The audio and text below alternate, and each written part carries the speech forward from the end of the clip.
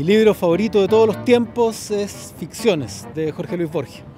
Lo leí muy chico, me hizo pedazo del cerebro, me lo rearmó, eh, me produjo un efecto similar a una enfermedad infecciosa que todavía no se me quita y, todavía navego en esos, universos raros, entre clásicos, eh, weirdos, eh, muy eruditos, que te llevan, como, que, está lleno de hyperlinks a, otros autores.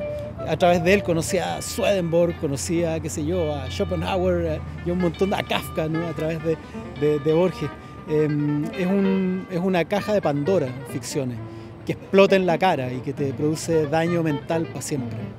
A mí me, me gusta Borges, quizás a ti te gustan otros libros, el punto es que seas como sea, nos vemos en Filse.